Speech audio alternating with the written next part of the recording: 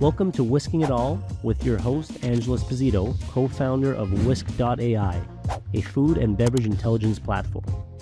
We're going to be interviewing hospitality professionals around the world to really understand how they do what they do. Welcome to another episode of Wisking It All. We're here today with the CEO of Cuboh, Juan Orrego. Juan, thank you for being here today. Yeah, absolutely. Thanks, Angelo. Thanks for having me. Of course. So, I guess maybe to kick things off, for people who don't know what Cuboh is, can you maybe give a quick description? Yeah, so Cuboh is um, sort of like an ordering stack for restaurants. We help restaurants with uh, direct ordering, uh, so people can order directly from their website. We also aggregate all their third-party orders from uh, platforms like DoorDash and Uber Eats and Grubhub, Skip the Dishes, etc., all in one place. Um, make sure those orders get sent to the POS automatically. Um, we just released a new product actually called uh, Cuboh Kiosks, which is pretty self-explanatory, but helping restaurants with self-ordering and you know with the many issues that are uh, happening in the industry with labor, just making mm. sure they have a little bit more support uh, and can support that autonomous ordering. Um, so super exciting times. Awesome. So we'll definitely dive more into Cuboh. I'd love to see you know where you guys are at today, where you're heading, learn more about you know what types of restaurants yep. you serve and what type of uh, benefits they can gain. But maybe to just take a few steps back, and I'm always a big fan of understanding the entrepreneurial journey behind things. So, you know, tell me a bit about you. Tell me a bit about Juan. Where did you start, or you know, a couple years back? How did you get to Cuboh? Yeah, so you know, just like we were talking about before the before we, you know press record. So born in Colombia, and you're married to a Colombian, so you know we're very entrepreneurial. Yeah. And uh, I think the stat something like 50% of Colombians are entrepreneurs, something like that. Oh, wow. A lot of it is due to poverty, of course. Like people just kind of have to create their own opportunities. But both my parents are entrepreneurs, and I always knew that I was going to end up working for myself. Mm. Um, I was born and raised in the Caribbean, Colombia, but I moved to Canada when I was 17. And I always had um, small businesses on the side. You know, like I had a, like an online jewelry business. Um, even when I was a kid, like selling ice cream door to door to my neighbors and whatnot. Uh, eventually, uh, I ended up getting into restaurants. So I started working for this food truck, and that's what helped me pay for school in Canada. And after a few years, really understood the industry. Um, but I ended up getting a, another job at a at a tech startup, and that's kind of how I started in the tech world as well. Hmm. Um, after a few months, I wasn't a very good employee ended up getting fired. I was a sales rep. I didn't meet quota, and um, it was like really like three months in or something. And so I was like, you know what? I am actually gonna just um, try and create my own company. Like maybe the world is just trying to tell me that this is my time. So I'm gonna go all in um, and try to combine both the experiences that I uh, have had for the long, longest period of time in my career, I was fairly young. I was 21 or 22, so it's not like I had been working for a decade or anything like that. But right. you know, I had worked, we worked for a few years in the restaurant industry, and then just a few months in tech.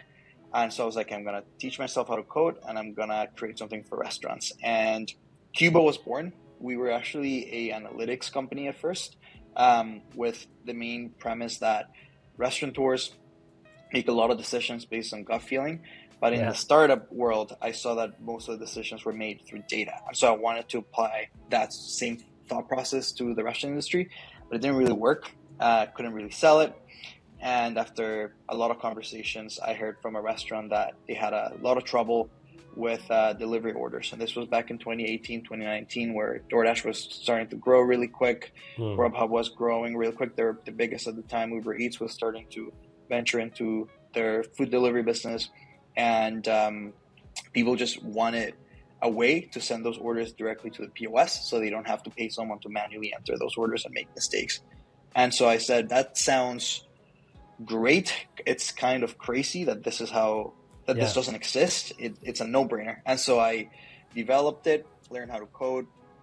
Um, you know, eventually hired a couple developers, recruited our co founder, CTO, and we went to market in 2019 and um, you know a year before COVID. So you know as soon as COVID hit, everything went from zero to not a hundred. Honestly, went to like a million. Like we went from zero to like eighty employees in like a year and a half. Like it was something I never imagined could wow. happen in my first like real venture. So it was kind of crazy, wow. but really cool to help restaurants through that tough time.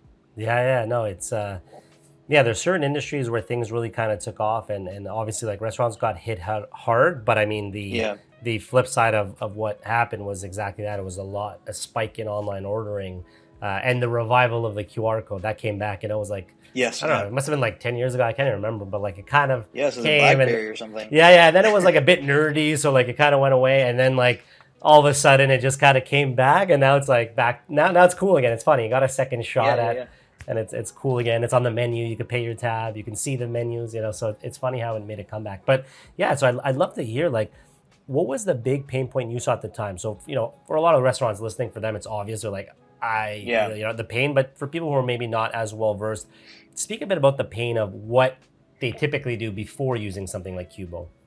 Yeah, so you know you're a restaurant you understand that you want to be on delivery apps right your food travels well you have a little bit of bandwidth in the kitchen, so you end up signing up for DoorDash and Uber Eats and Grubhub.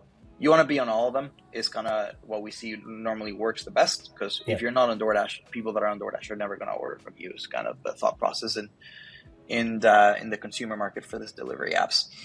And so um, you know you sign up for all those delivery apps but then what ends up happening is all of them send you their own tablets because they need to communicate to you when an order comes in. Mm. Um, actually, when we started, a lot of people even used fax, which was super crazy. No. Yeah, so, so they would get the orders through fax print, and then they would, uh, whether you got it on the tablet or fax, you would have to enter that into the POS so mm. that the order gets recorded. You know, your inventory yeah. gets accounted for. The order prints in the kitchen. Um, and restaurants started to see that not only was it super slow, but rest, you know their employees normally are really young they're so overwhelmed with the volume they start making mistakes they instead of entering a burger they enter a hot dog and then customer gets the wrong order they have to remake it their reputation gets tarnished. So that's when they start looking for something like Cuboh. And we've evolved the product into more than just that more than just integrating that order. Um, you know we help restaurants with making sure that the orders gets uh, auto accepted in like less than a second. So wow. the delivery apps are seeing wow this restaurant is really quick. Every time we send them an order, the customer receives a notification that they're they're preparing the order right away. So let's start ranking them higher and higher because less cancellations are happening, and so it kind of snowballs into like more volume, less mistakes, easier to handle. You can be on all the delivery apps at the same time. Um, wow. And then there's like the menu management, right? Inventory when you run out of something, like making sure it's 86'd, um, et cetera, et cetera. Wow. Okay. And I, I can I can imagine you know, you alluded to obviously the, the, the time side of things. So just being super time consuming and inefficient to just have to literally copy paste an order. But in addition, even if in a perfect world, it you know it's taking time. There's the mistake side, and so you're, you're making mistakes, and that has effects. Do you have an idea of like what that mistake rate was? Like how many orders were yeah. as an average? Yeah, you know what I mean. Yeah, so when we st- we measure that super early on, and what we saw was out of ten orders, between one to three would normally have wow. a mistake which was because a lot of them it, it's not just the item it's like small modifications right if you want your mm. fries on the side or if you want your sauce on, on the side or something that and it's just so overwhelming for the staff to have to handle all those small details notes. A lot of people would ask for hey can i actually you know i didn't see fries on the apps. Can i have an order of fries? So hey how do we charge for that? They didn't pay for that. It's a note. So you know there, a lot of errors would start to come up and it was actually uh, one to three out of ten. That's super significant. Yeah, yeah. um and again in the peak of covid like you know, it, we had such overwhelming demand for something like Cuboh because everybody just needed to get on the apps, ensure that they could handle handle it as quickly as possible. Um, it, like I said early on, it was awesome to help them out through all that. That's awesome. And so when you guys started, if I'm not mistaken, you guys were or are based in Victoria, BC. Is that yeah. Right? Cool. So you yeah, guys started right. there. I love to hear the journey because you know half of this is is is you know talking to restaurateurs but also half of this is really understanding that entrepreneurial side so you know you kind of your path led to you to being that entrepreneur from your your, your dna that family um, you know it's in your blood kind of thing. And then you started in victoria. What is that getting that first you know restaurant or two look like? And then what yeah. what happens after that? It's really funny because you know first entrepreneurs kind of have a hard time like pricing their product and they like really underprice it and stuff. So we I started selling to restaurants in Victoria. I think they just kind of saw this like skinny like immigrant kid like you know there's no way this kid's gonna build this product so like they would just they just didn't pay anything. So then I was like, yeah, I'm not selling anything in Victoria. Let me try Vancouver, um, which is just like an hour and a half away, quite a big city. and we got our first two customers like pretty much instantly. They're paying like twenty bucks a month, and um, but I was honestly scrambling, like just making a lot of cold calls and cold emails and stuff. So um, I just kind of one day looked at San Francisco and pulled the Google Maps and started cold calling them, and um, you know eventually someone wanted to buy it. They were like, "What's the price?" And I was charging twenty Canadian a month. I was just like 60 US just, just, to try, try and gauge. They were like, done. I was like, holy wow, like I could probably charge a lot more for this. So eventually awesome. we started testing with our pricing and stuff. Um, but yeah, the first sale honestly was just like all hustle, like just trying yeah. to get someone to, to listen to me. Yeah, and it's funny. I mean, I'm sure you can relate to this, but I find most entrepreneurs, including myself, when you get that first sale, the feeling is amazing. Even though like you could be in so much debt. Yeah, yeah. You spent like a year developing something, you're in debt, and you get like 20 bucks. But like there's something about someone paying for something that you thought of and built that is yeah, so yeah. gratifying, right? For me, it was just like so much rejection. Like you were, I was trying to fundraise because I, you know, like um, I didn't have like a friends and family that I could raise. So like fundraising, I was just hearing no after no after no, and then trying to sell Cuboh to restaurants like no after no after no. And before that, we were analytics, so like a million no's before uh, before we became uh, like what we are today. Right. So hearing that, like hearing someone say yes, you're like cool. Once the payment goes through, it was actually super. I still vividly remember when I got the the email that someone had paid, and it was just like I was on crack. Like it was. Cool. That's so amazing, happy. man. Yeah, it's such a good feeling. And so, just to paint the picture, so people have you know three tablets, and you know for people that maybe don't, most people, most restaurateurs experience this, but for those who who don't and are listening and just as you know regular kind of audience members, so you can imagine you know one tablet for Uber Eats, one for DoorDash, one for for whatever other system, and skip the dishes, and you end up getting these orders. So now you have three tablets on top of your POS. So when you guys come in, just to paint the picture, is it that it's connected directly to the PS, or is it that now it's on your kind of tablet and you can consolidate all those on on your tablet? Like, tell me a bit about like the logistics of, of how that works. Yeah, so uh, both. We send the order to the POS, but then we also provide the restaurant with one tablet so that they can get rid of the other three. Okay. This is something that we debated a lot early on. Do we just send everything to the POS? And we tried. But what we ended up discovering was in a utopian world, you can get rid of your tablets, have everything go to the POS, it prints awesome. But a lot of, you know, like customers can, can write notes. Um, that's normally things that they want to add to the items that they're not paying for. Uh, or, you know, say that they, um, the restaurant ran, ran out of an item that was ordered. They need to refund it, make sure that the inventory updates. POS is one really built with that use case in mind. And so what we started to see was, that restaurants started using the tablets again. Um, and it was really important for me that we were the universal remote control for the restaurant so that the pain of tablet, what we call tablet hell, could actually be solved by what mm. the service that we were providing. And so that's why we ended up developing this one tablet, which again acts sort of like a universal remote control so that the restaurants don't have to use the other three tablets and they don't have to touch it. You know, everything runs on autopilot. But when something arises, they can still go to that tablet and interact mm. with the order, their menu, the customer, whatever they want. Got it, got it. And so, and so, what does your typical customer see like pre Cuboh and post Cuboh? So, you know, talking a bit about the pain, three tablets down to one, time savings. Are there any metrics that you guys have that you say, hey, we're able to help with this in terms of you know, bottom line or or, or even yeah. top line? Absolutely. So not only the the errors that we were talking about earlier, the ten to thirty percent error rate, which is pretty high. Yeah. Um, we completely eliminate that because we there's truly no human involved. Um, but we also start to see that restaurants very quickly um, get more sales on the delivery apps, mm. and that's where that you know auto accept it, delivery apps are really interesting because they have this. And a lot of people don't know this, but they have this algorithm very similar to Google because they are they want to make sure that whoever they're ranking high is gonna make the money. If they're sending volume to the wrong restaurant and they have to refund that order, then they probably tarnish that relationship with the customer forever. True. And it's so competitive. Now there's Uber Eats, Grubhub, you know, DoorDash, ChowNow, and a million others. Um, but between the big three, people are going to switch back and forth if the experience in one isn't isn't ideal. And so that's why we started to develop this sort of like you know auto accept. Let's make sure that the delivery apps are liking the restaurant.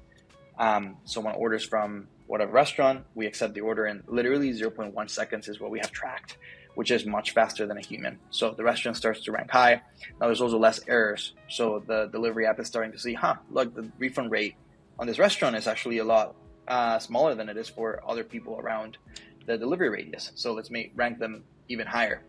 Um, every time that the customer orders something, they do end up delivering it. They don't have issues with inventory, and that's because now instead of them managing three menus, they only have to manage everything in, in one platform, which is Cuboh.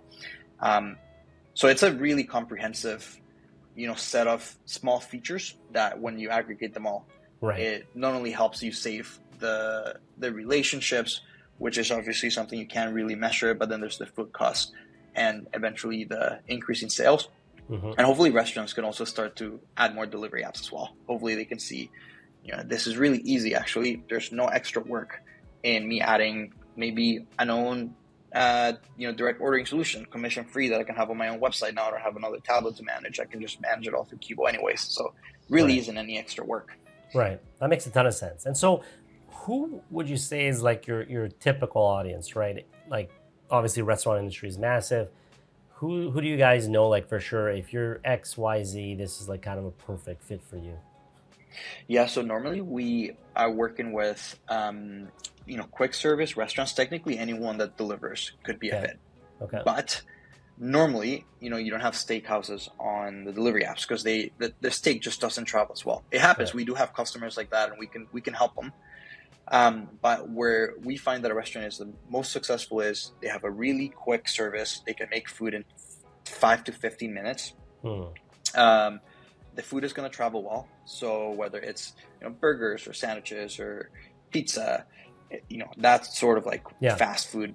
Um, and then in terms of size, you know we don't like to work with um, big big corporations like McDonald's and Burger King, they can they have the resources to develop their own solutions. Right. Obviously, if they came knocking on the door, we'd love to work with them. That'd be mm-hmm. that'd be mm-hmm. awesome for our business. But but they have the resources to build themselves. Right. Um, so we try to focus on those you know smaller players.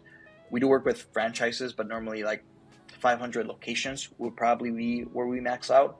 Okay. Um, but on anything in that like one to 100 locations, that's really where we thrive. We do really really well. Awesome. And then I can imagine because you're dealing with QSRs, you know, one to hundred locations. Um, there's probably a handful of POSs. So on one side, you're integrating with obviously the, the delivery apps.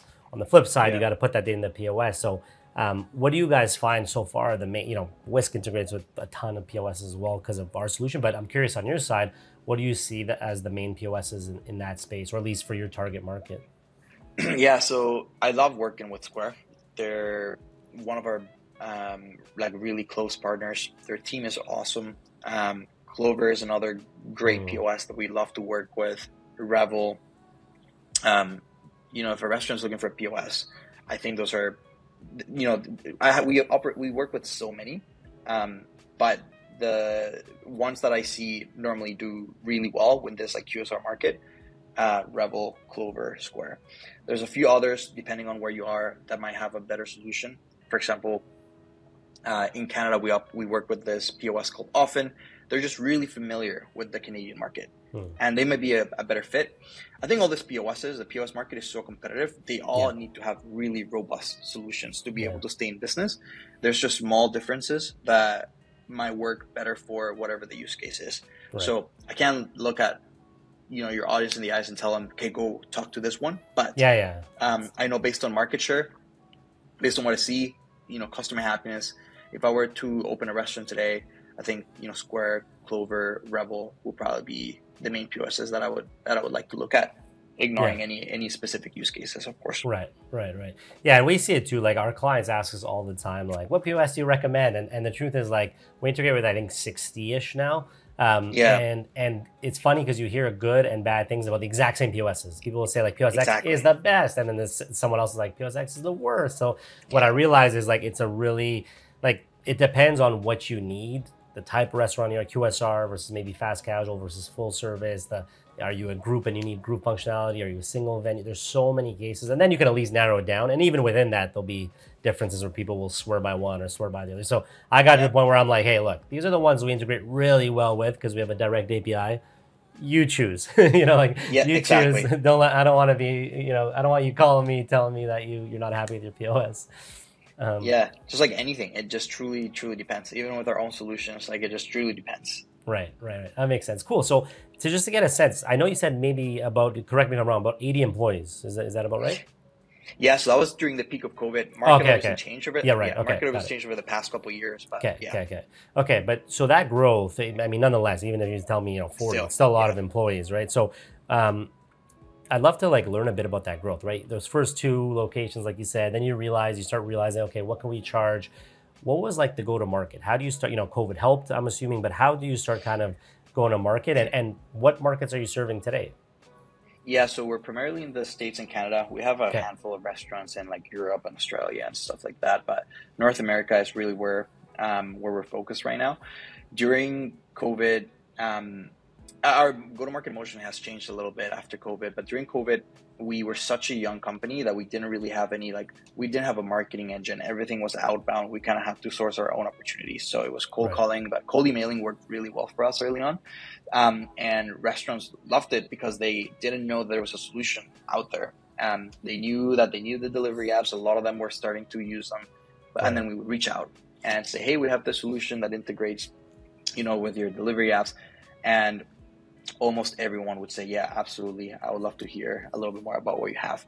Post COVID, then the intent uh, definitely dropped because restaurants were already on the delivery apps. I think almost mm. everybody signed up for delivery apps in the peak of COVID in order to be able to survive. Right. Um, and so we started to have uh, we started to develop our own marketing engine. So putting a lot of resources and content out there. So if you go to our blog um, or you subscribe to our newsletter, we have a lot of um, great stuff. We also have ebooks and stuff that we write. So restaurants just find us through that.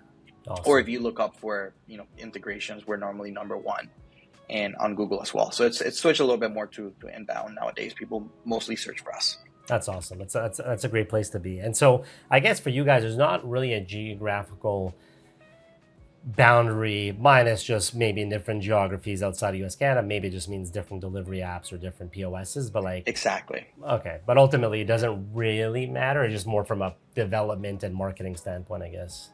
Yeah yeah that's exactly right. Like we technically we can just develop a say you know Glovo or Deliveroo like those European delivery apps. We can just build them tomorrow.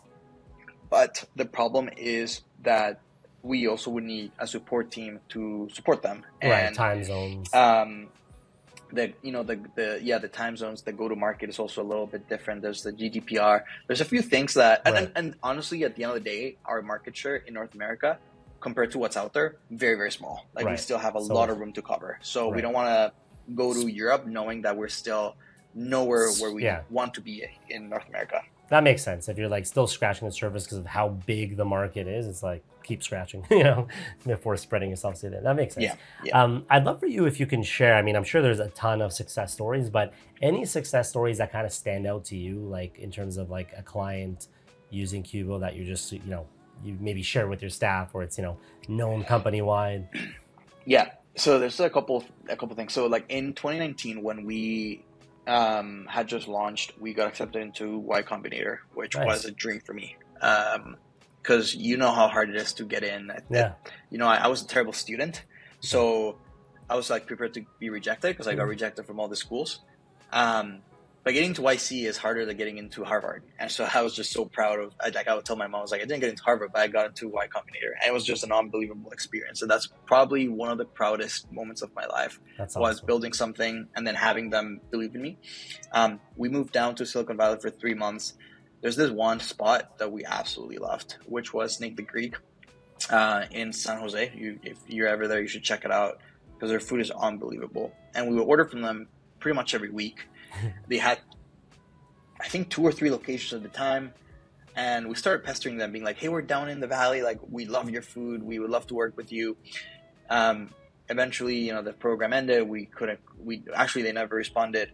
And after a year or so, we ended up engaging with them and now they're one of our largest customers actually like they have tens and tens of locations they signed oh, wow. more franchisee agreements as of recently i think they're on on track to be 100 plus by the end of next year and wow. that's just awesome you know seeing them not only grow but also like how um, it, it just reminds me of the of the time when we were down there which was so special for me personally awesome. but also seeing them grow and then be a part of that growth is really cool. That, that is really cool. And and yeah, for for people listening that m- might not know, there's there's a few you know acceler. I mean, there's many accelerators, but there's a few really like high level ones. YC is probably the top. Um, you know, I'd say another big one is TechStars. Uh, yeah, we were part of TechStars, which was fun, and TechStars yeah. was um, I think when we went, the, the, there was like 600 something applicants, mm-hmm. and chose 10 companies. So and it was cool because it was uh, so competitive. Yeah, it's super competitive, and that one was I think at the time was the first TechStars in Canada because TechStars is worldwide, whereas YC's I think is just yeah. one, right? Yeah. It's the the one. They only have one in right, Silicon right, right. Valley. Yeah, yeah, although they went remote during COVID, but I think they went back to doing it all in person. And okay, yeah, TechStars okay. I also like really uh, looked up to Techstars. Like if we, the, the, reason why we didn't apply to Techstars is because they had invested in a competitor, ah, okay, and we knew they weren't going to invest in us. Yeah, that makes um, sense. But then we got into Y Combinator, which which is huge. Which was yeah. that was my dream. Yeah, yeah, that's huge. Yeah, I mean, if you get into these things that like it, I mean, they, they are what exactly what they sound like. They're accelerators for an entrepreneur. It's an entrepreneur's yeah. dream. You get a bit of capital, you get a lot of guidance and direction, and it and it just accelerates the, the, the progress. Typically, you you get good introductions to to VCs as well, which can help with the fundraising. So it's it's yeah. you know for uh, startups listening out there trying to get into an accelerator could could be a good move a lot of the times, not always, but it, a lot of the times it could yeah. be. you meet a lot of cool people. Yeah. Like I, I met yeah the CEO of Airbnb Brian Chesky. Like how else would I be able to meet him if it's if you know if it wasn't for YC? It's, you know stuff like that was that's unbelievable. That's awesome. Um, I'd love to hear just a bit about like your journey kind of as a leader, right? So you go from like you said like not having that sales job, right? Which is not representative, yeah. but you know, it takes a shot to the ego, like ah, whatever. And then totally. you kind of, and then you kind of go into boom. I'm into YC. I'm a CEO for the first time, which is hard because it's like you're learning as you're growing. Like, what does that journey look like from the CEO? What are some? I always like kind of sharing lessons that people learn. Like, what are some lessons you learned as kind of a leader in the last few years? Yeah, yeah. You know, like like with with anything that is new, you suck at the beginning. As a matter of fact, I mean, there's levels, right, to, yeah. to everything you do, and so you're always trying to get better. Um, I think when I started, I was just so young. I was so hungry. Like I, you know, I just wanted to make this a success because I had no other option. Um, so it was all me just doing anything and everything myself. Eventually, as we started to grow, then I start to read a little bit and, and experience, you know, managing a team, leadership, you know, motivating people, firing people, which actually never gets easier. Yeah. Um, performance, it's it's I think really hard. The the thing for me is I am really really competitive, and I think that defines my leadership style. Of mm. um, we I want us to be the best that we can be, and I love hiring um, athletes, you know, people that thrive under high pressure, you know, fast moving environments, um, never settling, mm. you know, outwork everyone else. Um, that's sort of like as cliche as it sounds like David Goggins sort of like, yeah, yeah. you know, hey, like let's like we, you, you know, you, with your mind you can control anything and everything, and that's kind of what I try to tell my team that we can, if we want to be a billion dollar company, we can be a billion dollar company, but it's going to be hard and we need to put in the work. Hmm. Um, and with that, you know, it's I, I think the biggest thing for me was getting used to the fact that um, it's about as a leader, it's about how do you get people to respect you. Whereas early on, I was more it was more like how do I get people to like me. Hmm. And I when I talk to a lot of new leaders, there's that really you know hard transition of them being like, "Oof, but I don't want to give them that feedback because like what if that they take it the wrong way and I think that was something that eventually clicked. Again, as with everything, you start to learn, and it's you know they actually don't have to like me; they they just have to respect me. Yeah. And if they want to be the best version of themselves, then they have to they have to hear this feedback.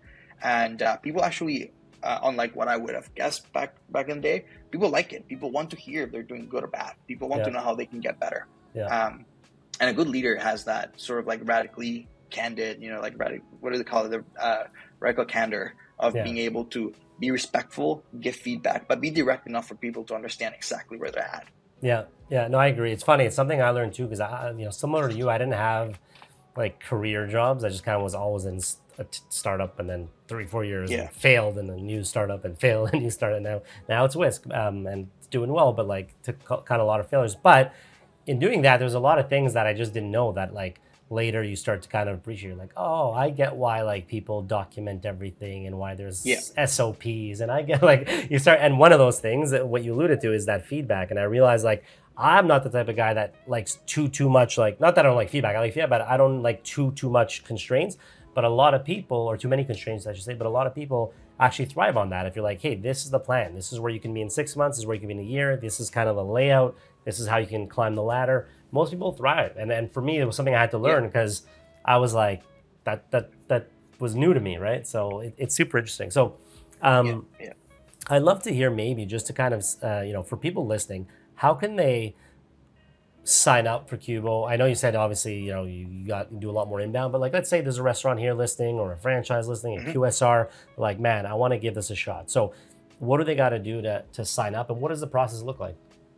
Yeah, so you can email us at sales at cuboh.com. Cuboh is spelled C U B as in boy O H, um, kind of like as in cube. or you can go to cuboh.com and then just click on get a demo or get cool. started right at the top and it'll take you to a form. The process is super easy. It takes about a couple of weeks to get set up, which is mostly the delivery apps have a schedule where a schedule where they migrate people over from their own tablet over to our integration um, and they do that every Wednesday. So we just kind of have to line up the timeline stuff. But on average, it takes about a couple of weeks, mostly because of that. Um, and we honestly do most of the work. We handhold um, all the restaurants throughout throughout the process. They go live in a couple of weeks, and it's as easy as that. Restaurants start seeing their orders in the new tablet, which we ship over to them, and the orders uh, flow into the POS as well. They print in the kitchen and whatnot. Um, customer support is super important to me. Like I said, I'm all about excellence and making sure that people have a, a really good experience. Um, so we reply to everyone in under five minutes. Wow. You know, I, I did support for years and years and years uh, until like a year and a half ago, where I eventually delegated it over to a leader. But I'm still very involved. I want to ensure that everybody, from the moment that they buy, they understand. Okay, like um, it's technology. Obviously, there might be issues, but if they do arise, there's a team right here that's you know willing to help me. And we're the friendly Canadians, right? Like we when someone calls us, we just want help. That's awesome. And I guess like for for people who maybe I don't know, I, I don't, I'm not too familiar, but I'm sure there's a handful of you know competitors like any industry. Can you maybe highlight why someone would want to pick Cuboh over some of the other uh, other people in the industry? Yeah, so um, I don't know if you like from what we were talking about earlier about the tablet and stuff. Um, that's our main difference. Most of our competitors take an order and they put it into the POS and that's great. If you're if you have an exclusivity deal, you're only working with one delivery app. That's probably all you need because you only have one tablet anyways. But when volume is increasing and you have multiple delivery apps, then that remote control becomes really handy, and that's our main difference. Cuboh actually not only sends those orders to the POS, but we also give you some more day-to-day tools that you can mm. actually interact with those orders and get rid of the delivery apps or the delivery app tablets. Um, and the way that translates into more money and more money saved for the restaurant is um, the rest the delivery apps will like your restaurant a lot more, so they'll rank you higher. That auto accept, you know, our competitors normally accept orders in seven seconds. Ours is 0.1, so much much better than our competition. And because there's less errors, more communication with the customer, inventory is more up to date. You know, orders are, are refunded right away, or you opt for something right away. The customer is always in the loop. Then um, the reputation overall for the delivery for the restaurant the delivery apps is much better and hence your the ranking is a lot a lot better. But again if you're only using one delivery app probably don't have a lot of kitchen capacity all this might be an overkill. That's why I, that's where our competitors thrive. Got it. That makes a ton of sense. And, and then i guess to wrap things up i would love to just hear your kind of vision for the future. You know i know you alluded to kiosks and stuff you're working on now yeah. but yeah what's what's on the roadmap now and what's coming up and what, what's what's your vision yeah, so when we started, it was it was all about you know third party deliveries, but we have uh, started to um, just from the feedback that we hear, you know, delivery apps are expensive. Restaurants want to use more than just that, mm. and so we have a lot of tools. We kind of have the sort of like the heart of the overall system, which is you know this platform that receives orders, can communicate them over to a POS. The restaurant can manage everything from from Cuboh.